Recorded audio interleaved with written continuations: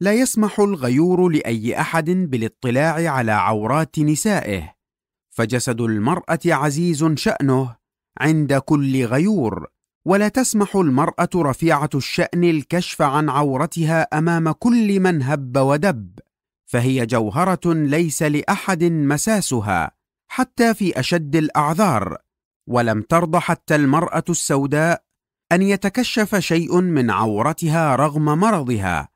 ولم تتداوى نساء العصور الذهبية عند أي رجل بل لم يحجم أمهات المؤمنين إلا غلام صغير لم يحتلم بعد. فما بالنا اليوم رغم انتشار الطبيبات والممرضات أكثر من أي وقت مضى سرنا نرى من تأذن لرجل أجنبي عنها بفحص عورتها بكلتا يديه يفحص ويرى دون رقيب أو حسيب. بل لو أن أخاها ابن أمها وأبيها فعل هذا الفحص لاتهم. هل انقرضت الطبيبات والممرضات حتى تسارعن إلى الرجال؟ أم إن ذلك الرجل نبي مرسل أو عبد ملهم؟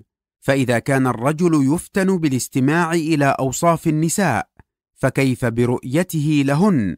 ولم يرضى النبي صلى الله عليه وسلم مس يد امرأة لا تحل له حتى في آكد المواقف عند البيعه وقد قال عليه أفضل الصلاة والتسليم إن الله لم يجعل شفاء أمتي فيما حرم عليها.